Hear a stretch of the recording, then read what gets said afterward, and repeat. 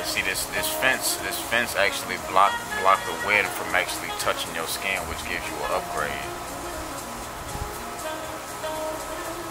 They got us so used to being inside of these damn fences that that's a prison. Like, box yourself off from all this land right here.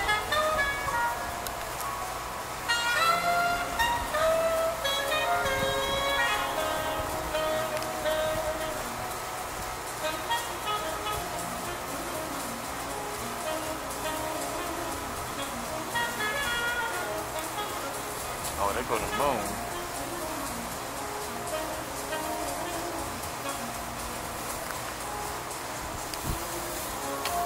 Yeah, this is a whole, it's a whole frequency. It's a whole vibe. Like, all it is is just remember exactly what this is. But the best part is, again, the the road that leads to success is is right now.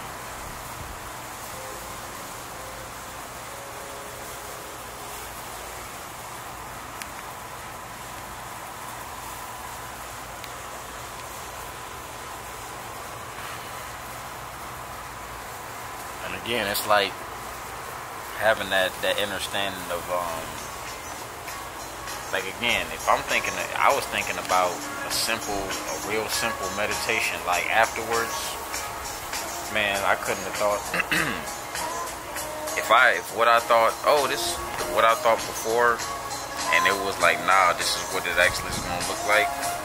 It's showing my expectations about everything that's going to be happening in life.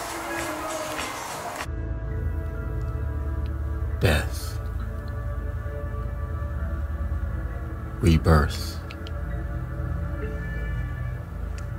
Your soul goes through so many transformations. But the only way to conquer your true self is to go within and find out what shadows you have lying beneath the surface.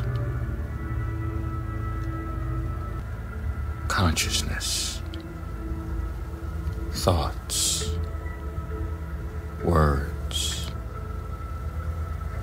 life. Go within and you'll truly find out why you are here.